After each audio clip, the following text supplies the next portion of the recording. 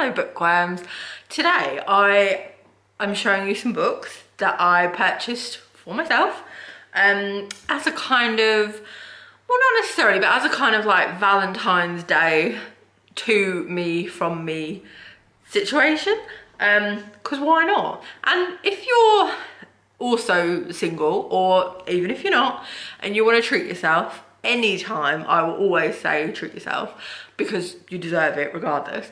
But Valentine's Day, sometimes if you're single, like, it doesn't bother me, but sometimes if you're single, you can be a bit like, you see all these couples, you see all this like lovey-dovey business and you feel a bit left out treat yourself and then you won't feel left out. Be your own Valentine. It's 2021, like what are the rules anymore?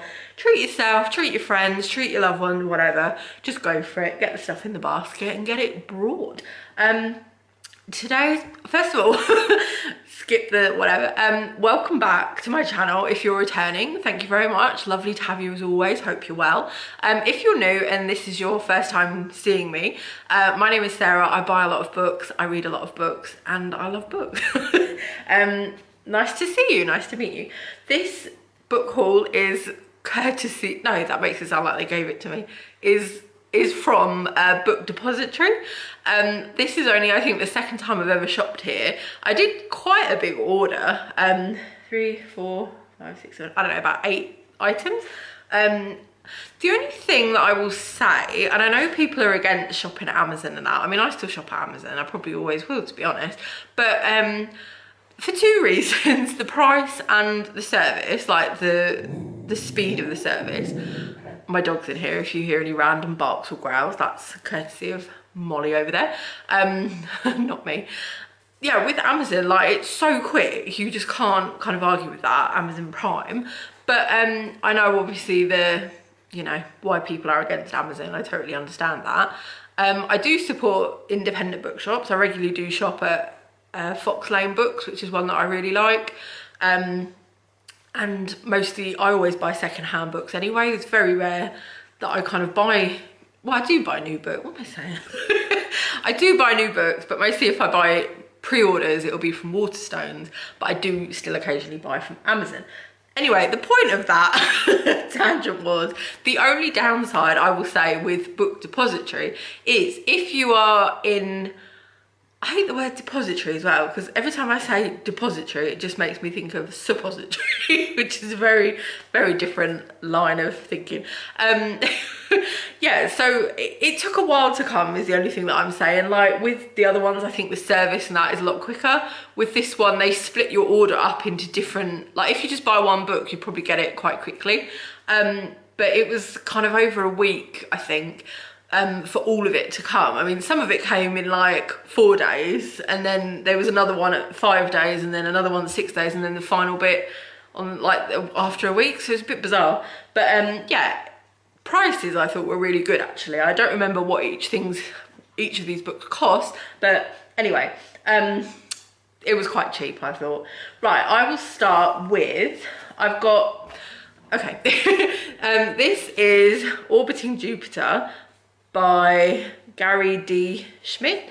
Um, this is a YA little novel. Um, it's quite big print, so it shouldn't take long to read and it's quite skinny as well. Um, this focuses on a foster, um, well kind of a boy and his like foster brother um, who moves into the family home. Um, and basically he, oh, excuse me, he's got a kind of young child. He's the foster brother. I think he's is he 14? I might have made that up. 14? I don't know. Um, well, basically it says, when Jack meets his new foster brother, he already knows three things about him. Joseph almost killed a teacher. He was incarcerated at a place called Stone Mountain. He has a daughter. Her name is Jupiter. He has never ever seen her. So basically this is like a, um, I don't know, kind of a coming of age type little novel, but also they go and track down his daughter that he's never seen before. So I thought it just sounded quite nice. Um, I'd never heard of it before. I thought the cover was really nice. Not that that's the only thing that's important, but yeah, it just sounded quite a good read. So that is the first one. I'll just put that there. um, next up, I've got two kind of romance novels. Um, was that? Oh, I thought I got more. Yeah, two romance novels, um, just to maybe read, not necessarily this month, but just whatever. Um, The Roommate by Rosie Danan. Um, I read the synopsis for this on Amazon while I was browsing, um, and it just sounded really good. So if you like, um, it kind of sounded mm, not similar to no, I don't know where I was going. Not really similar to anything I think of, but um, yeah, I think you can kind of, you know, temptation is just across the hall. You can kind of see where this is going. Um, but it sounded really good. It just sounded like an easy kind of read, you know, a bit funny, a bit steamy, whatever. Um, and next up is Adult Virgins Anonymous by Amber Crew. This had really good reviews, same with The Roommate. So I thought they would just be perfect to buy together and read maybe back to back. Um, this sounds just really heartwarming and really lovely. So this is just kind of what I was after. And I think those two will, you know, tick, tick all the boxes necessary.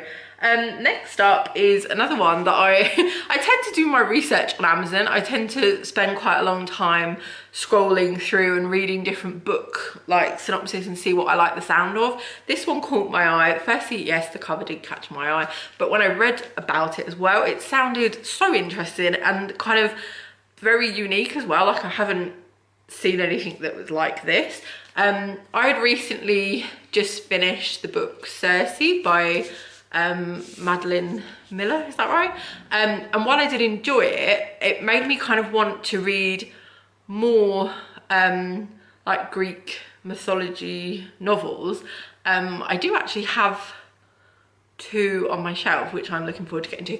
But um, yeah, like I read, Circe just talk for a little bit. Um, I did enjoy it. I wasn't kind of blown away by it, but I, I did really enjoy it. I feel like I really liked Circe more than kind of anything else in it. I don't know. And at times I found it a bit confusing. But anyway, this one, the reason why I'm mentioning that at all, this is a um, romance novel set in, um, I think it's either between, let me just read this little bit for you. A sweeping, multi-layered romance set in the perilous days of World Wars One and Two, where gods hold the fates and the hearts of four mortals in their hands. So this, not only is this a romance, not only is this kind of historical fiction-ish, this also has the kind of Greek gods in it as well. It's like a flipping pick a mix of books, this. This has got a bit of everything in it. So I thought, whoa, like, yes, please, thank you very much. This sounds absolutely up my street. And it's really lovely hardback as well, like really lovely. And um, I just really like the pink of it, the kind of dusty color and the um, front cover as well, which is beautiful, like the people behind her and everything. So yeah, I'm really intrigued about this one. I think I'm definitely gonna have this lined up on my TBR for next month. Um, I might even kick the month off with it because it's a nice chunky one to get stuck into. But yeah, like I just thought that sounded really interesting. Um, hopefully, hopefully it's good. um, next up, I've actually got four fantasy picks. Now, fantasy is a kind of a genre that I would never have imagined that I would really love. Um, I really like fantasy kind of films and TV um, and kind of very much when I was um, when I was younger, my favourite film was Labyrinth. I mean, it still is one of my favourite films. And also kind of, um, I used to watch like Dark Crystal and, um, oh, what's the other one? I don't know, like Willow and stuff like that, like fantasy films, you know, that are around when you're younger. Um, and I used to love all of that. And also then I really love Game of Thrones now. I'm currently rewatching that and absolutely loving it again. Um, you know, and like The Hobbit and stuff like that. So I suppose fantasy books was always something that I should have known that I would enjoy. But I think when I first started um, Bookstagram, like fantasy was everywhere. And in particular this series of books was absolutely everywhere especially the first book. Like everyone and their dog read and loved this. So i kind of had a bit of like um you know fear of missing out about it but never got it and never kind of tried to read it or anything. Until now. Um this delightful trio of books. So you've got The Cruel Prince, The Queen of Nothing and The Wicked King, all by Holly Black. I've heard so many good things about these books. So if you've read them, please let me know if you enjoyed them. Um, just from the little synopsis on the back, I kind of really think that this will be my cup of tea. Um, they're not too long as well, so I suppose that's quite good. Um, and also, I haven't really read that many um, series really? Like um i think i could literally count the series that i've read on one hand like in any genre like throughout my reading life. Um so yeah I, I quite like the idea of having a series to get stuck into and hopefully like fall in love with and really enjoy. Like i think the feeling of finishing one book and then knowing that you've got kind of two others or five others or however many to come is like a really exciting thing and I, would like to kind of have that. So yeah um that's that. Another trio another popular trio as well book depository. I got this um shadow and bone trilogy by leigh bardugo. Um i actually have two of her books sat on my shelf that i haven't read yet. Um the six of crows and ninth house. Um I attempted to read Ninth House last year and I think maybe I just wasn't in the right mood for it because I just could not for the life of me figure out what was going on. Um, and I'm pretty sure nothing confusing had actually happened, but just for me, I just couldn't get my head around it. Um, so yeah, this I believe is going to be a Netflix um, series. So I thought, I, I don't know when that comes out, but I heard it was coming out. So I thought, well, you know, why not? So yeah, another, another little trio. They're really lovely as well. Like, nice coloured spines. I haven't opened it yet to have a look at them. And to be honest, I don't completely know what these are about, but on the back it says soldier, summoner, saint, find out how it all began. Okay, um, yeah. I do also think with fantasy books, sometimes um, the thing that kind of put me off, well not put me off, the thing that kind of um, I found a bit I don't know, intimidating or a bit daunting about fantasy was the amount of characters that we'd be meeting and then have to remember who they were. And I mean, I get confused in normal books when there's quite a few characters. So let alone a fantasy book where they've all got quite, you know, fantastic names and come from, you know, weird and wonderful places. I'd be like, oh God, I'm a bit out of my depth. But I mean, back to Game of Thrones, there's obviously a lot of characters and a lot of different places where they live and I can keep up with that. So I'm pretty confident I'll be all right. Um, next up is another fantasy, um, The Shadows Between Us by Trish, ooh, Tricia Levenseller. Again, lovely cover. I will say these fantasy books have very beautiful covers, don't they? Um, this. I just read the little thing and i was like that's that's a bit of me that. Um okay so basically alessandra is tired of being overlooked but she has a plan to gain power. One woo the shadow king. Two marry him. Three kill him and take his kingdom for herself as she should go as she should. I read that and i was pretty much sold to be honest. And again it's quite short.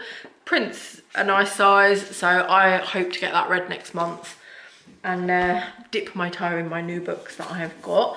And then last but not least is These Violent Delights by Chloe Gong. Now this is, um, from what I gather from reading the synopsis and seeing reviews about it, this is essentially like a Romeo and Juliet kind of not re well retelling maybe? Um but set in shanghai. So it's like two gangs and like that. And i thought well that just sounds brilliant. I really like romeo and juliet. Um again it's got lovely little detail under there. Um and again it's just such a beautiful book. Look at it. Beautiful. Um so yeah this just sounds really, really good as well. Like so many of the fantasy books, you read the synopsis for them and they, I would just be like in the basket, in the basket. They just sound really, really good. So yeah, I'm really happy with that little book haul that I got. That'll keep me going for a while. Admittedly, I did do a book haul uh, in the Christmas sales on Waterstones. And also, yes, admittedly, I haven't read all those yet. But as you will know, any good bookworm acquires a new batch of books before they've read all their ones. I mean, it's just normal, isn't it? You just keep stocking up your shelves, don't you? I'm like a like a um a bookshop. I need to be well stocked, you know, for every every you know eventuality. and also at the minute, I mean, we're not doing much else, are we? So might as well just crack on and read and buy. It makes me happy. so yeah, there you go. That is my book haul. Book depository. Thank you very much. Um, yeah, check them out if you've never been on there. They, have got some good good bargains. So yeah, I will use them again. I'll just not be too impatient while I'm waiting for them. I think that's the that's the trick. anyway, um, let me know in the comments if you fancy, if you've read any of these, or DM me on uh, Bookstagram. Always love a cheeky little DM. Um, I'd love to know if any of these are favourites of yours or if you've got any to read or they're on your wish list or whatever. Or if you read them and maybe didn't enjoy them, I don't mind hearing that. Either or, I like an opinion.